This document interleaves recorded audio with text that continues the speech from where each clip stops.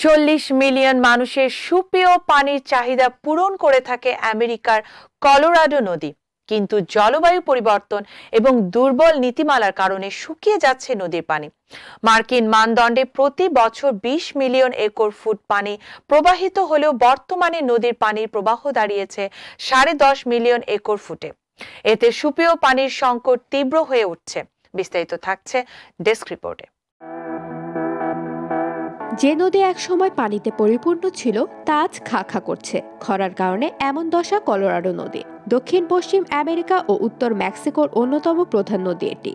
নয়নাভিরাম, grand কানিয়ন গিরিখাতের মধ্য দিয়ে প্রবাহিত দুই হাজার তিনশো চৌত্রিশ কিলোমিটার দৈর্ঘ্যের সুবিশাল এই নদী, California, Colorado, New Mexico, Nevada ও অ্যারিজোনা সহ বেশ কয়েকটি অঞ্চলের অন্তত চল্লিশ মিলিয়ন মানুষের সুপেয় পানির চাহিদা পূরণ করে থাকে।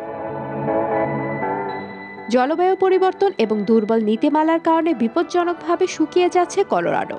ভয়াবহ খরার কবলে পড়েছে নদীটি। আমেরিকার মানদণ্ডে এক শতাব্দী আগেও প্রতি বছর বিশ মিলিয়ন একর ফুট পানি প্রবাহিত হতো নদীটিতে। কিন্তু বর্তমানে তা কমে সাড়ে দশ মিলিয়ন একর ফুট পানি প্রবাহিত হচ্ছে। এতে সুপেয় পানির ঘাটতি তৈরি হয়েছে। বিপাকে পড়েছে নদীর আশেপাশের অঞ্চলের বাসিন্দারা। কলোরাডোর লেক মেট এবং লেক পাওলেল রিপেট কলোরাডোর লেক মেট এবং লেক পাওয়েল বাঁধ চল্লিশ মিলিয়নের বেশি লোকের জন্য বিদ্যুৎ উৎপন্ন করে থাকে। পানি কমে যাওয়ায় সেটিও বাধাগ্রস্ত হচ্ছে। শুধু তাই নয়, নদীর পানি শুকিয়ে যাওয়ায় ব্যাহত হচ্ছে কৃষিকাজ। কলোরাডো নদীর আশি শতাংশ পানি কৃষিকাজে ব্যবহার করা হয়।